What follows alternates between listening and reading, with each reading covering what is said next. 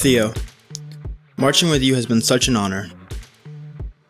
You set the standard for the group as both a person and a player. You're always one step ahead and prepared for whatever is thrown at us. Your dedication and work ethic are something I strive to match. Everyone admires how nice you are, and your willingness to assist others benefits everyone.